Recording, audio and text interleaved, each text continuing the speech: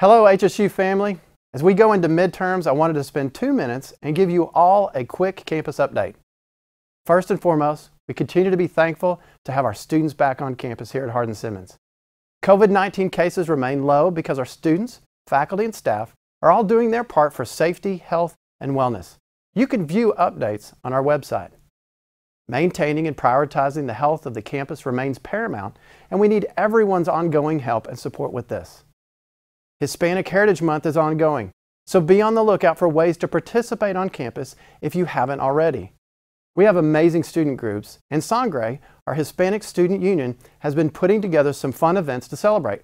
By now, if you're on our mailing list, you should have received your own copy of HSU's Range Rider magazine, mailed to over 30,000 households.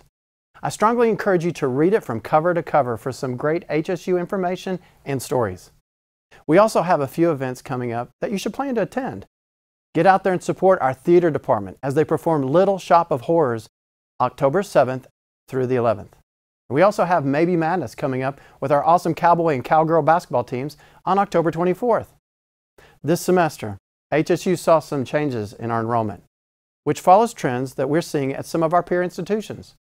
While enrollment was down, we had an increase in enrollment in our graduate programs and in our undergraduate programs in business, science, and health. We're enthusiastic about the future of Hardin Simmons and look forward to continuing to grow as a community.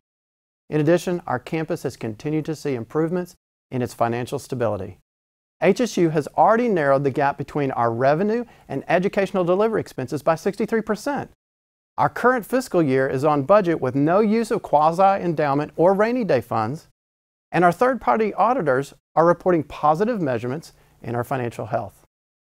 Like other nonprofit higher education institutions, Hardin Simmons University is subject to annual auditing and reporting in compliance with all governing laws and regulations. As part of this process, our most recent annual financial audit was performed by a leading CPA firm known as CapinCrouse, with a team of higher education specialists experienced in industry best practices. Their audit examination resulted in an unqualified opinion, also known as a clean auditor's report.